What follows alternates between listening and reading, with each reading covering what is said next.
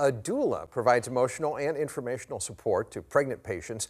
News 11's Laura Simon takes a closer look at the positive impact they have on birth outcomes and who qualifies for the program in tonight's SSM Health Medical Minute.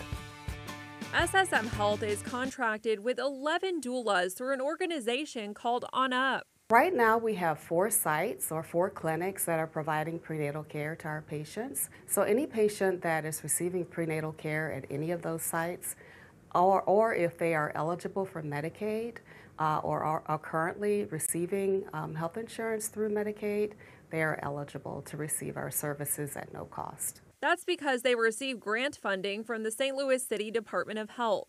Research shows community based doulas can reduce preterm births. Doulas also assess social needs. Patients can sign up at their prenatal visits. After the patient is enrolled and connected with the doula, the doula reaches out to the patient and schedule the visits. Um, and they basically meet them, meet the patients wherever both feel comfortable. Patients are provided three prenatal visits, attendance at labor and birth, and three postpartum visits. Clients are able to reach out to the doulas for up to a year. For the SSM Health Medical Minute, I'm Laura Simon.